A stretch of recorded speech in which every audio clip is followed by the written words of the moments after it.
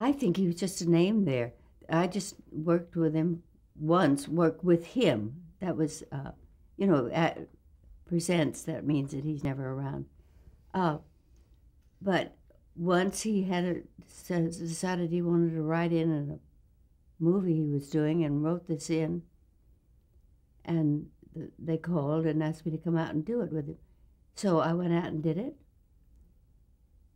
And that was And on. that was it. And then he cut it out of the film, out of the picture anyhow. Did you actually work with him that day that you were yeah, there? we absolutely. What was was he there. like?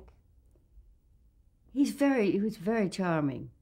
He was you know, witty, informative, and interested in what he was doing, what I was doing. Did he work well with the actors?